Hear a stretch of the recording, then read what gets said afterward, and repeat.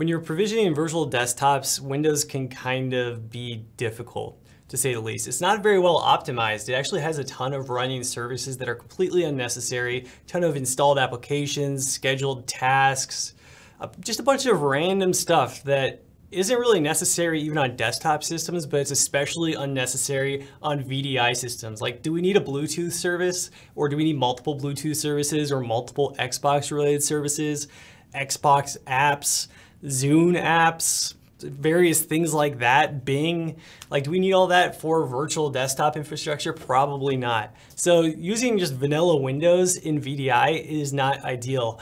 What we want to do is optimize our Windows images and get rid of all the extra stuff so they use less resources. And in doing that, we can of course fit more virtual desktops on each hypervisor host that we're using. So I want to look at two different tools to optimize our systems. First one's called Citrix Optimizer, and the other is the VMware OS optimization tool. And they kind of, they do a lot of the same stuff, but each of them also does a few unique things. So sometimes I like to just run both. So let's take a look at how they work. First off, you can get both of these online. They don't cost any money. Citrix Optimizer, you do have to have a Citrix login for, and then you just click this, login and you can download the, I think it's a zip file and with the executable in there. Uh, the VMware tool, the OSOT or OS optimization tool, you can just uh, click this, uh, click the little checkbox and download it. So you don't have to log in or anything. And I always appreciate when vendors don't make you log in to download software that's free or to like read an article. So thank you, VMware. But these are the two tools that we're going to be using. You can get them if you would like. And now let's look at what we're going to run them on. So we've currently got this VM. This is a brand new installation of Windows 10 1903. And it, if we kind of expand out the start menu, I mean, you might have to squint a bit, but there's a lot of stuff in here that we don't want on virtual desktops. Do we need voice recorder, Xbox, your phone, Office, like this little Office launcher? I mean, OneNote, OneDrive, mobile plans, do we need that? No. So we can get rid of that pretty easily. So what I've done is I've already moved Citrix Optimizer and the VMware OS optimization tool here uh, to a folder called Optimize in uh, just on C. So we will run the VMware OS optimization tool first and get an idea of what all we can get rid of.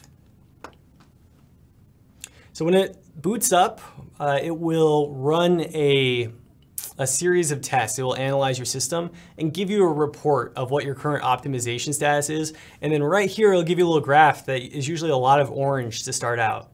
Yeah, so we could see the total number of possible optimizations is 400 and, well, actually like 470, or 76? So that's the total number of optimizations, of which 415 are not applied on this system. So it's analyzed the system, now we can apply those optimizations. So right down there in the bottom left-hand corner, you can click Optimize, and it will just really quickly go through and apply these various optimizations. It applies group policy settings, it applies registry settings, it removes unnecessary services and applications, it removes unnecessary uh, what's what are some other unnecessary things it removes? Just a ton of unnecessary things. You get the point. It's getting rid of all the unnecessary stuff that Windows comes bundled with. So it's now going to kind of continue on and run. And you know what, while that's running, just in the interest of time, let's just run the Citrix Optimizer side by side with it. So Citrix Optimizer, I think it definitely wins on style points. It doesn't optimize as many things, I suppose, but it does look better. I, think the user interface is really nice. Although I do appreciate VMware's nice graphs and everything. So this is uh, just about done on the VMware side and Citrix Optimizer. This is uh, Citrix Optimizer. So with Citrix Optimizer, we can actually select which type of OS we want to optimize for. And we're going to select 1809 because that's the closest to the current one that we have. And then it will load up a list of various optimizations that it thinks would work well on our system. So once uh, VMware is done, actually, let's run Analyze on Citrix Optimizer and see what it catches that the VMware OS optimization tool did not. Are we almost done? Uh, all right, I'm just gonna run it now. Well, yeah, let's just run now. So this is just about done. It's removing these built-in apps that are just a nuisance. And let's see. What did we get here? So it looks like uh, the VMware tool did turn off most of the services, although the uh, OS, uh, the um, Citrix Optimizer does have a few additional services that it would turn off. Just kind of scrolling down through the list, it looks like we've removed all the unnecessary, a lot of unnecessary applications, but there's still some other ones here. So, okay, and so it looks like that VMware OS optimization tool pretty much hits all the marks with the exception of a few settings like these.